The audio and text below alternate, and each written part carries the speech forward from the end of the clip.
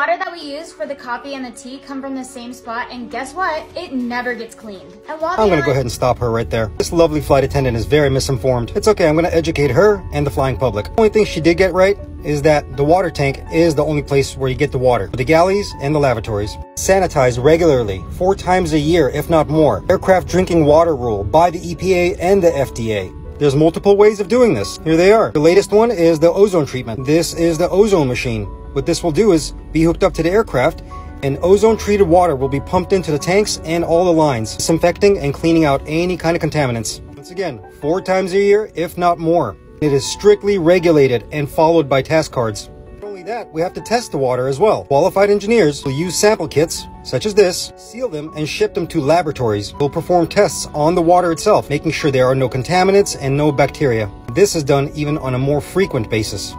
Take this very seriously. Follow paperwork to the T. For the coffee makers, check it out. Here's your coffee maker. People don't know is the coffee maker has its own water heater. Water that comes out of there is close to boiling. Don't worry, your coffee and tea is just fine. I drink it all the time. Never had a problem. Oh, and on a side note, the coffee pots themselves get changed out on every single flight by catering. Enjoy! The more you know.